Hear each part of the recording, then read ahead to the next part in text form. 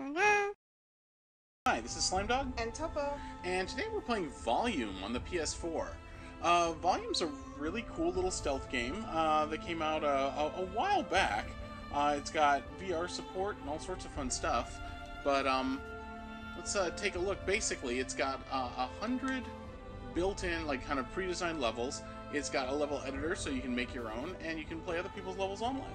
So uh, let's see. To start off with, just sort of get a feel for it. Let's go ahead and try.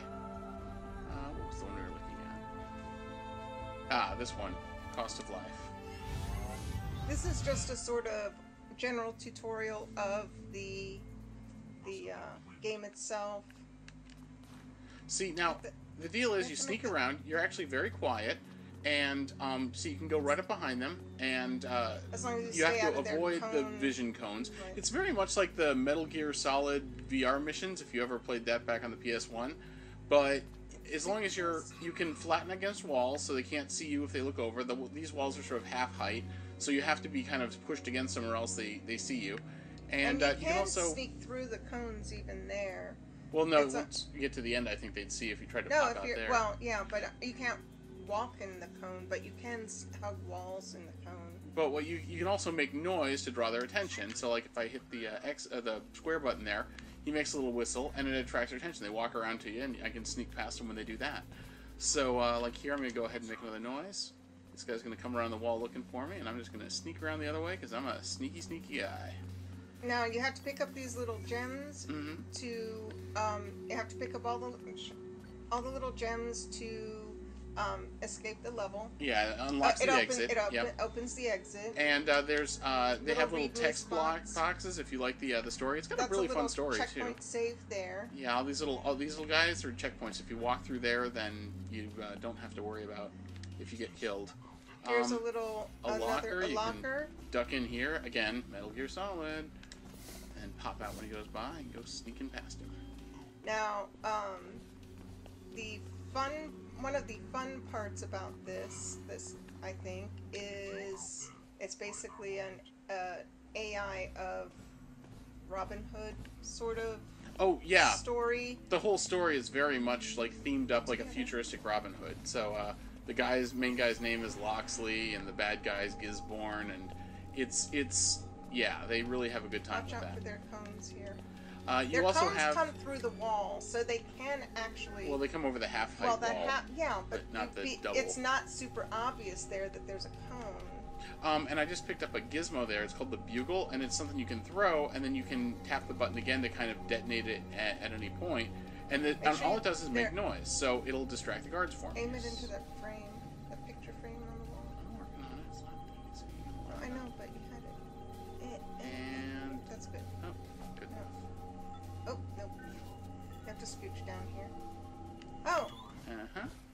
they do bounce for a while. They I thought do. I thought it had gone off the edge. They will go off the edge too. And while they all parade down here, I can just snipe, slip right by them. Um, it's got a fun story. It's actually I'm enjoying the story as you go through the uh, uh, through the little text files, but it is just mostly told through text and and uh, uh, and voice acting. again. So, um, it's Oh, there you go. Uh, it, but it's this uh, cool little kind of sci-fi thing, and it goes well with the kind of the minimalist vibe that they've got going on. The whole kind of simulated, you know, uh, VR world that you're supposed to be in. Um, yeah, it's fun. Got sort of an anti-establishment vibe that goes nicely with the whole Robin Hood theme. Yeah, it's. I love. Must have been the wind. Yeah. Really, really. You're in an. Okay. Well, you know, said that the simulated guard people are smart. Uh, And there we go. I snuck out in not par. Par for this is 165, but the chatting takes time. yes. Um, so that's that's sort of various, a but they're all pretty pretty short. Oh yeah, they are.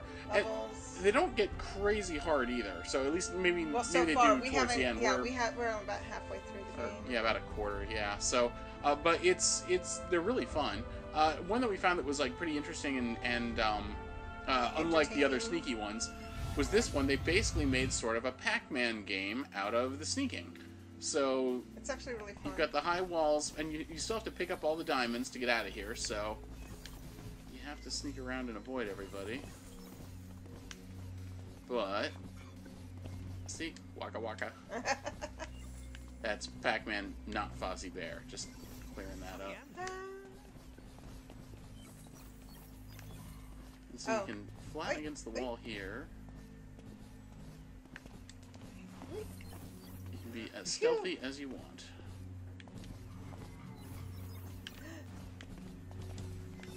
I get I get so caught up in these things. This is one of the This little. one doesn't catch me. Phew.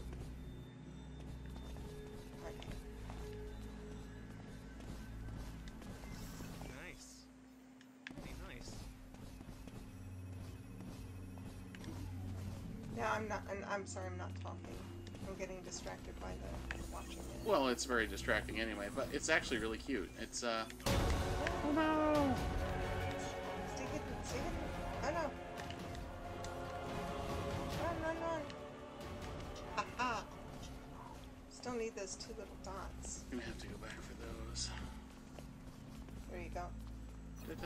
And see, you if you can avoid them, if you get seen for a couple of seconds, maybe three seconds, you're done. They they kill you. But if you can evade them, you can uh, sneak out, sneak past them, uh, and and even if you get sp- like sighted, the game You isn't over. lose Yeah. Yeah, you can lose them if you can hide. The game proper has a few different, maybe like five different types of enemies to avoid, and it's got um, probably a, a likewise number of gadgets that you can use. Yeah, they've got like you can flush a toilet. So Mhm. uh, there's a urinal on the wall that you can flush to have them come around and Distract them. It's, you. it's like your little self clap thing, only a little bit louder. So um, and there's various fun little distract distracting tools, yes, hiding spots of like the lockers and uh, just behind walls. But a fun part also, aside from just the game proper, is the uh, the level editor, which we use to make. Well, here let's uh, show off the edit simulation, and we can uh, let's load this map that we made earlier, and it took us maybe about five minutes to make this map, not long at all. Uh, it's got uh, because the, the design itself is so minimalist. It's it, it lends itself well towards sort of a, a really cool like this this level editing suite of, of you know basic features.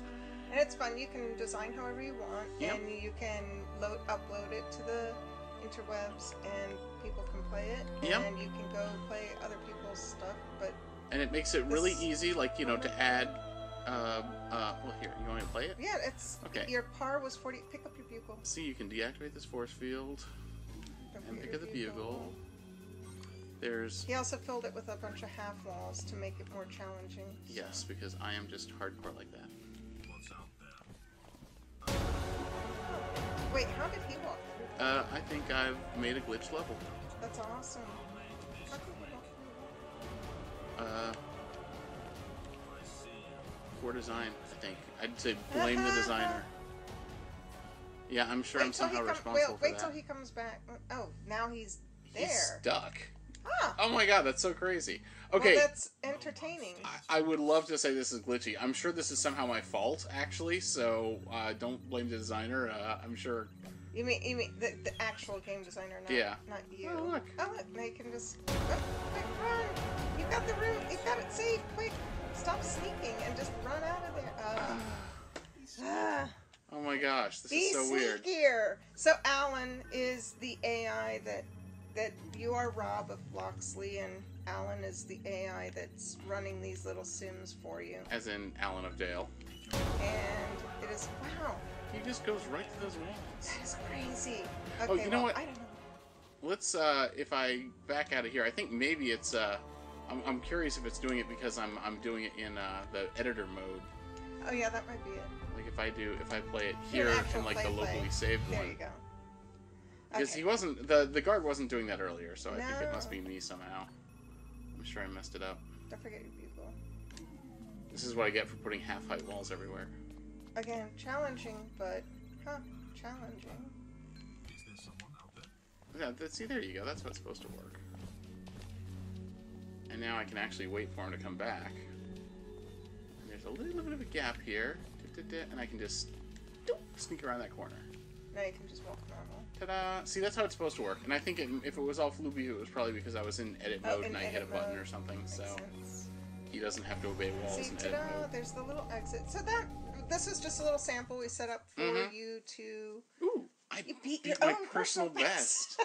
Yay! par that you set. Mhm, So I suppose you. you, could set a par really high if it took a really long time. Yes, and, and we even uploaded this. So if you want this really crappy level, you could totally go online and find the Let's Play level by Slimedog13 and play it yourself.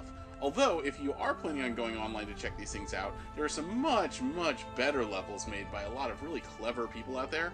Um, we played a, a couple of them, and, and they're pretty cool. They, they, they do some really fun stuff. There's some a lot of creativity there. So I'm sure there are tons of them. We have Mhm. we've only just dipped our toe into it, but And they, they also have a sort of a curated set from the, that the uh, the staff likes from user generated content too. So oh, the yellow brick road. Oh my goodness, yeah, you have to go through Castle Crash.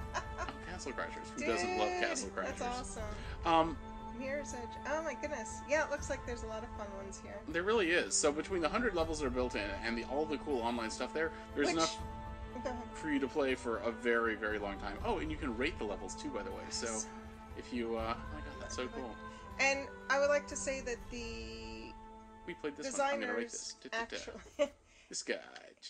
it was a fun one. Wait, no, I, I want to rate it higher than that. How I adjust it. Uh, Uh, uh, I can't make it work. I'm sorry, guy. I tried to bump your. Uh, So Anyway, they um the designers actually hope that you will come in and have fun with it. They Yes. very much say come in and play and have a good time. And I like the little base story that they've got going on. It's super fun. mm-hmm. There's little memos that you can read from that are, you know, notes on the ground. Yep. You can take time to read and you can certainly go through and play the levels as many times as you want to. You can design levels, you can play other people's levels. The music, the graphic styling is very appropriate. Yeah, it's really um, awesome, It yeah. feels very VR, very. And again, if you liked Metal Gear Solid VR missions on PS1, and there really hasn't been a whole lot like that since, Speaking of, this is. Does also have VR option, It which does. we did try on. It does and have- actually, you can both do it the same. It's the same on screen as on the VR. The neat thing about the VR is it's just sort of like you, it you're engrossed in it, but you're not like it doesn't change your view at all. It's a little bit more. Basically, it's like playing the game on a regular TV, except for you're doing it in VR. The, the upside is that it does add to the whole immersive VR Right. feeling that Like they're trying to evoke in the story itself. right, right. So You feel like you are the AI walking through the.